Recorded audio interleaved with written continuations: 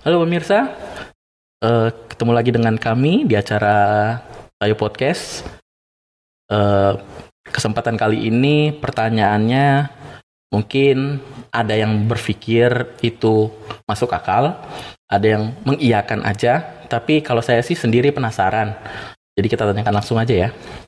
Uh, kenapa Tuhan Yesus itu digambarkan sebagai Bapa dan bukan Ibu? Karena yang kita tahu di dunia ini kasih hmm. ibu itu sepanjang masa. Ya. Nah kita bingung nih, apakah kasih bapak lebih dari itu? Gitu. Hmm. Uh, kita kembali kepada budaya di mana Alkitab itu ditulis. Hmm. Ya, Alkitab itu kan ditulis di dalam budaya Timur ya, budaya Israel. Hmm. Ya, orang Israel menyapa Tuhan itu dengan sebutan Avinu. Avinu itu artinya Bapak kami. Hmm Kenapa bapak kami ya karena budaya mereka ya patrilineal, budaya bapak ya hmm. turun temurun bapak lah yang mewariskan kalau mungkin kalau di Batak marga, hmm. kalau di Manado itu fam, uh, nama family itu hmm. diwariskan oleh bapak. Sehingga bapak itu dilihat lebih ya lebih tinggi lah daripada seorang ibu. Tetapi apakah Tuhan selalu digambarkan bapak? Sebetulnya sebutannya iya Bapak, tapi dalam banyak hal Tuhan itu banyak digambarkan dengan sisi-sisi femininnya. Misalnya ketika dia dikatakan penuh dengan rahmat, rahmat itu kan dalam bahasa Ibrani itu rahimim. Hmm. Nah rahimim itu kalau saudara-saudara kita yang muslim dalam bahasa Arab itu disebut rahimim dari kata rahim. Rahim itu kan bicara perempuan. perempuan itu jadi uh, Tuhan juga dikatakan uh, apa memperanakkan kita memperanakkan mm. manusia jadi uh, gambaran tentang Tuhan sebenarnya dalam Alkitab tidak selalu maskulin meskipun mm. kata ganti yang digunakan untuk Tuhan selalu kata ganti laki-laki mm. ya nah tadi pertanyaannya uh, Yesus ya apalagi kita tampil hadir dengan pribadi Yesus. Hmm. Yesus itu kan ketika lahir laki-laki, jelas sekali dia jenis kelaminnya laki-laki. Tapi itu bukan uh, berarti bahwa Tuhan itu punya jenis kelamin. Hmm. Ya kan Yesus itu kan karena dia menjadi manusia. Sehingga dia jelas uh, punya jenis kelamin. Berarti dalam konteks dia jadi manusia, oke okay, dia laki. Iya, gitu. dia laki-laki. Tapi uh, dalam konteks keilahiannya ya Tuhan itu tidak punya jenis kelamin. Hmm. Karena kalau Tuhan laki-laki nanti akan ditanya Tuhan perempuan yang mana. Makanya ya. istrinya mana nanti. Iya, sampai gitu. ada yang mengajarkan bahwa Maria itu adalah istrinya Tuhan. Ya kan jadi tambah ngaco jadinya. Hmm, gitu. Hmm. Terus uh, ada ayat yang berbunyi itu uh, kita ini jadi kepala dan bukan ekor gitu. Nah, hmm. kalau semua orang Kristen jadi kepala, apa nggak berantem? Karena kan ya kita tahu lah di kantor aja, di mana itu kalau mereka pasti punya keputusan masing-masing, punya hmm. pemikiran masing-masing, namanya kepala gitu. Yeah. Apakah nggak bentrok gitu kalau semuanya harus jadi kepala? Ya, uh, mungkin bukan dalam pengertian bahwa ya semuanya jadi pemimpin. Oh. Ya kan, tetapi yang dimaksud dengan menjadi uh, kepala di situ menunjukkan ada keunggulan-keunggulan lah masing-masing kita. Artinya uh, gini, misalnya talenta saya adalah talenta menulis misalnya. Hmm. Ya saya menjadi seorang penulis yang unggul. Hmm. Tapi di meskipun saya seorang penulis yang unggul, saya butuh misalnya seorang translator. Nah, nah translator yang lebih unggul juga. Hmm. Ya, jadi masing-masing orang itu kan ada talentanya masing-masing ya. Hmm.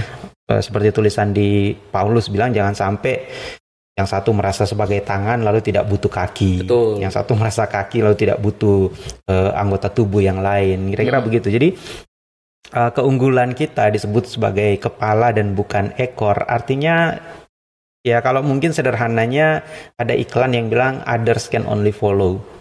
Nah, yang lain hanya bisa ngikutin. ngikutin. Nah, tapi kalau kita betul-betul menjadi orang-orang yang percaya kepada Tuhan, ya kita akan menjadi leader hmm. di dalam uh, bidang kita ya oh. dalam di dalam talenta yang Tuhan berikan kepada kita. Jadi belum kita. tentu sama dengan orang-orang lain ya. Ya, belum tentu ya dan belum tentu juga kita jadi pemimpinnya kan. Betul. kan. Tapi uh, artinya orang akhirnya hanya bisa ngikut kita gitu. Mm -hmm. Atau kalau bahasa kerennya kayak jadi trendsetternya lah. Nah, influencernya lah. Ya, kita mampu menghasilkan hal-hal yang baru yang hmm. dalam Alkitab dibilang yang tidak pernah dilihat, hmm. yang tidak yang pernah dipikirkan orang. orang. Ya, karena Tuhan itu kan kreatif. Hmm. Jadi orang-orang yang percaya kepada Tuhan juga seharusnya lebih kreatif. kreatif. kreatif. Eh, jangan lebih kreatif lah. Tuhan udah paling kreatif. Maksudnya lebih kreatif dari yang saat ini. Ya, gitu. harusnya kreatif. Jadi lebih baik hmm, lah. Gitu. Lebih baik, inovatif. Nah. nah, berhubung berbicara dengan kreatif, hmm. ya. Nah, TikTok kan saat ini wow besar sekali gitu. Hmm. Nah pertanyaan saya, apakah bolehkah lagu rohani menjadi backsound untuk TikTok? Yang jadi masalah itu kan gini, kalau seandainya pas lagi kita menyanyikan lagu itu di ibadah, hmm. yang ditakutin karena kita ngelihat di TikTok, jadi kita asik sendiri gitu. Itu yang ditakutin sih. Ya, pada saat penyembahan tiba-tiba ya. anak-anak remajanya nari-nari. Ya, takutnya seperti itu. Uh, kalau saya sih mungkin kita harus lihat lagi soal uh, apa namanya dikotomi antara lagu rohani dengan lagu duniawi. Mm. Mm. Menurut saya semua lagu itu ya duniawi mm. karena diciptakan di dunia. Ya, betul. Dengan nada-nada yang sama. Mm. Kan bukan karena dia lagu rohani lalu nadanya ada kelebihan satu ya, kan tidak seperti betul. itu kan pasti ya tetap do re mi fa sol la si do. Kita seperti itu. Uh, ada genrenya, ada aturan main duniawi lah. Mm. Jadi semua lagu itu sebetulnya adalah lagu yang di dunia. Mm. Ya kalau lagu rohani ya kita nggak bisa denger. Mm. Ya, namanya lagu rohani kan. Mm. Roh kita yang bernyanyi ya siapa yang bisa lihat. Oh. Itu dulu soal dikotomi soal lagu rohani dan lagu uh, duniawi. Mungkin akan lebih baik kalau kita menyebut misalnya lagu gereja. Lagu gereja. Dan lagu nasional, lagu, lagu apa? Umum. Lagu pop. Mungkin akan lebih bagus seperti itu. Nah, bagaimana kalau misalnya lagu gereja atau lagu-lagu yang sering kita lagu gunakan dalam ibadah mm -mm. dijadikan backsound, backsound TikTok. TikTok. Nah, kita harus lihat dulu juga ya TikTok itu ngapain gitu. TikTok dianya mau ngapain? Ah, gitu ya. di TikTok dia ngapain? Kan TikTok sekarang kan banyak dipakai banyak. untuk menyebarkan Injil ya, juga. Saya sering lihat ada sih. Uh, ada hmm. orang yang bicara tentang Alkitab, khotbah singkat hmm. dengan background lagu gereja ya menurut saya sih justru bagus. Hmm. Tapi bagaimana kalau misalnya lagunya lagu gereja tapi yang disajikan misalnya hal-hal yeah. yang ya. bertentangan dengan ajaran uh, firman Tuhan. Hmm. Nah, maka hal itu jelas sebuah penyimpangan. Mungkin hmm. bisa disebut penyakit. Oh. Ya penyakit karena dia seolah-olah ya kayak bipolar gitu ya. Hmm. Bipolar tapi dalam wujud yang sederhana. Dia punya kepribadian ganda. Hmm. Di belakang dia tampil begitu spiritual tapi yang di depan itu amoral yeah. atau hal-hal yang bertentangan dengan Alkitab. Gitu. Jadi ya lihat dulu konten konten yeah, TikToknya. TikToknya. Nah tapi kalau misalkan ya lagu rohani kemudian anak-anak itu katakanlah anak-anak remaja itu berjoget, hmm. joget kayak covernya lagu, lagu hmm, itu tentang lagu itu gitu. Ya kayak ya itu kan jadi kayak mirip uh, penyanyi-penyanyi apa penari-penari tamborin di gereja oh, kan mereka iya, juga iya. menari hmm, sambil hmm, memuji Tuhan dan tuh. bahkan sebetulnya di dalam aliran gereja gereja timur itu ada eh, lagu-lagu uh, yang ditarikan hmm. dibikin tariannya hmm. dan bahkan ada doa yang di bikin tarian. Mm -hmm. Bahkan ada sekarang doa yang dibikin senam. Bukan sekarang, udah lama sih. Mm. Kayak doa Bapak kami dibikin senam. Waduh, senam juga. untuk eh, kesehatan ya. Apalagi kita di zaman pandemi sekarang kan, mm. orang butuh sehat. Nah, doa Bapak kami itu ada yang dijadikan senam mm. untuk uh, para lansia. Oh, seru tuh. Nah, itu luar biasa orang bisa mengkreasikan gerakan tubuh sambil melantunkan doa Bapak kami. Mm. Itu kan ada jauh bedanya dengan kasus TikTok yang yeah. tadi. Mm. Dan malah membuat apalagi kalau lagu lagu gereja yang disajikan di situ dia menekankan untuk percaya kepada Tuhan, mm. mengandalkan Tuhan. Mm -hmm. Ya menurut saya itu ada cara lain untuk kita memberitakan Tuhan. Mm -hmm. Hanya di dunia yang kebetulan kita berkecimpung di dunia TikTok ya, di dunia itulah kita mm. memberitakan tentang Tuhan. Itu akan jauh lebih baik daripada dia menggunakan lagu-lagu yang uh, bukan lagu gerejawi, udah mm. gitu tariannya juga bukan tarian yang yeah. yang uh, apa ya yang sesuai dengan ajaran Kristen atau nilai-nilai Kristen nah itu kan akan lebih parah lagi berarti gitu. ya TikTok nggak masalah lah tergantung kita view-nya seperti apa menontonnya ya ya TikTok itu soalnya dia punya dunianya punya hmm.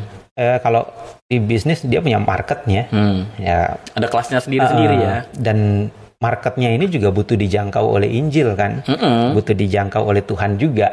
Jadi ya kalau mereka bisa dijangkau dengan TikTok, kenapa hmm. kita harus larang? Marah. Ya, betul, hmm. betul. Terus uh, apa tadi? Uh, saya ada punya pertanyaan. Uh, kalau meninggal nih, hmm. ya kan? Tadi kan ada meninggal, tapi ini baru keinget karena saya pernah nonton TikTok tentang itu, hal itu gitu. Hmm. Dia meninggal.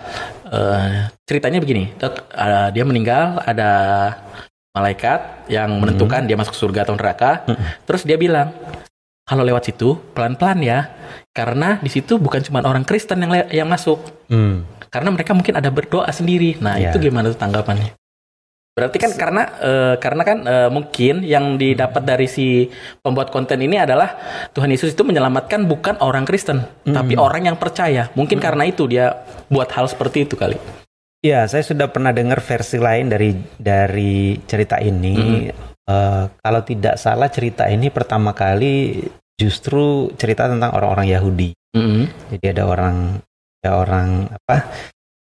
Ada orang Yahudi itu kemudian masuk surga, kemudian uh, malaikat itu bilang nanti kalau lewat situ jangan jangan berisik, jangan berisik kan ada orang lain yang yang sedang berdoa. Inti dari pesan yang mau disampaikan di situ adalah identitas agama itu bukan yang menentukan keselamatan orang. Hmm.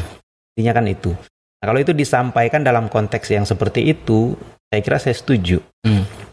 Uh, kenapa? Karena banyak orang yang mengaku Kristen tapi tidak memiliki nilai-nilai kekristenan dalam Betul. hidupnya. Hmm apalagi kalau dia cuma Kristen warisan ya, hmm. mewariskan dari orang tuanya tapi dia sendiri tidak pernah ke gereja yeah. sejak dia lahir hmm. ya dia cuma ke gereja ketika mamanya atau orang tuanya masih hidup yeah. dia diantar ke sekolah minggu tapi setelah itu dibaptis aja nggak pernah oh. tapi di KTP-nya masih Kristen ya kalau begitu ya kita meragukan kekristenannya hmm. Uh, jadi label agama itu tidak menyelamatkan. Okay. Itu dulu yang penting. Tapi yang menyelamatkan kita kan pengakuan kita ya. Uh, pengakuan kita, penerimaan kita terhadap Yesus, kita menerima dan mengakui Dia sebagai Tuhan dan Juru Selamat, itu yang hmm. menyelamatkan. Eh, hmm. oke okay, menarik menarik. Eh, saya masuk lah, karena saya sebenarnya saya sependapat dengan Kayosi ya, hmm. karena menurut saya Tuhan Yesus itu belum tentu loh, namanya cuma orang Kristen doang diselamatin. Logika saya ya, karena saya berpikir nggak semua orang Kristen itu baiknya melebihi orang yang biasa, orang hmm. lain. Mereka hmm. mungkin bisa percaya Yesus, tapi mungkin dia nggak berani ngomong atau gimana. Kayak contoh yang um, mati di samping Tuhan Yesus, kan dia nggak tahu Yesus sebenarnya pertamanya. Yeah. Tapi karena dia melihat seperti itu, dia langsung tek, langsung hmm. percaya, bisa gitu. Ya dan Yesus juga kan sendiri bilang bukan orang yang berseru kepadaku Tuhan Tuhan ya, yang akan diselamatkan, tapi mereka yang melakukan. Mm -mm. Jadi uh, kalau tidak salah di episode kapan itu kita sudah pernah bahas itu kan tentang iman tanpa perbuatan itu ya, adalah betul. mati. Hmm. Jadi percuma kita mengakui dia sebagai Tuhan dan juru selamat, hmm. tapi kalau dalam keseharian kita kita tidak bisa me, ya mencerminkan iman.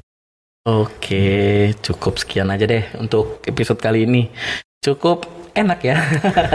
Oke pemirsa jangan lupa untuk subscribe, komen juga buat pertanyaan yang uh, pemirsa belum temukan jawabannya, mungkin kami di sini bisa bantu untuk sampaikan, untuk kita jawab, kita bahas di sini.